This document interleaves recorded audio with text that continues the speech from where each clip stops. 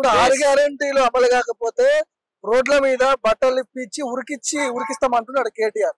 ఒక విధవ. ఇప్పుడు ఆరు గ్యారంటీలు ఒక్క రోజులో అమలు జరగవు కదా. ఒక ప్రణాళికబద్ధంగా అభివృద్ధి అనేది జరుగుతుంది. Hmm. ఏ ఎలక్టోరల్ ప్రామిసెస్ కూడా ఎలక్షన్ మేనిఫెస్టో అనేది ఐదు సంవత్సరాల కోసమని ఏర్పరిచేటువంటి ప్రణాళిక. Hmm. అది ఒక రోజుకో రెండు రోజులకో కాదు.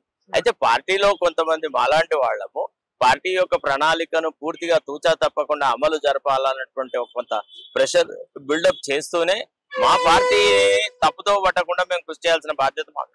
ఇప్పుడు భట్రాజు పొగడతలు పొగడడానికి గాంధీ భవన్ రానక్కర్లేదు కదా. అది ఎక్కడో నుంచి కూడా చేయొచ్చు ఏ మైకుల ముందనే చేయొచ్చు. మరి పొగడతాం బాగా పొగడతాం ఓ ఆయన ఇంద్రుడు చంద్రుడు అది అంటాం దానివల్ల ప్రజల కొరిగింది ఏంటి.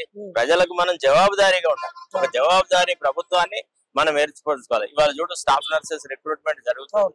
తర్వాత Telangana public service commission reconsider చేసినాం. These are the milestones ఇవి ముందు మన మన పట్ల ప్రజలకు ఉండే విశ్వాసాన్ని పెంపొందించేటువంటి స్టెప్స్ ఉమ్. ఇట్లాంటి స్టెప్స్ ఇంకా కొన్ని చేయాలి అట్లనే అతి త్వరలో కూడా మనం మహిళలకు ఏదైతే వృత్తి ఇస్తా అన్నామో రెండు వేల ఐదు వందలు. దాన్ని స్టార్ట్ చేయాలా?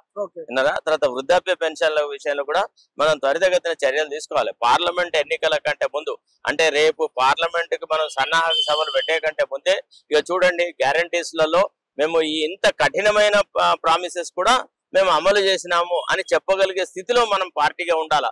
అంతే తప్ప రేపు కేసీఆర్ను కేటీఆర్ను తిడితే ఓట్లు పడతాయి అంటే నేను నమ్మను. ఇప్పుడు కేసీఆర్ ఎంట్రీ ఇస్తే ఎట్లా ఉంటది సార్? ఏముంటది ఏముంటది అంటే అట్లా కాదండి. గొప్ప గొప్ప మహానాయకులు అసలు ఎదురే లేనటువంటి ఎన్టీ రామారావు ఓడిపోయి ప్రతిపక్ష నాయకుడుగా శాసనసభకు వచ్చినాడు.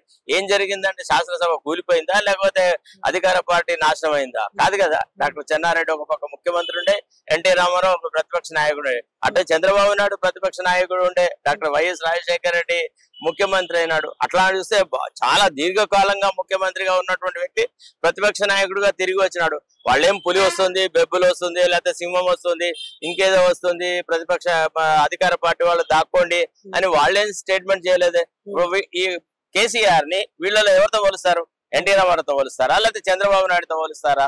రాజకీయ ఆలోచనల్లో గాని అవగాహనలో గాని ఒక ప్రణాళికబద్ధమైనటువంటి డెవలప్మెంట్లో గాని లేకపోతే పేద ప్రజల పట్ల ఒక అవ్యాజ్యమైన ప్రేమ గల ఎన్టీ రామారావుతో మనం కేసీఆర్ని పోల్చగలమా ఇదంతా ఉత్త బోగస్ మాట. కేసీఆర్ ఎన్నడొచ్చినా మాజీ ముఖ్యమంత్రి వస్తాడు అంతే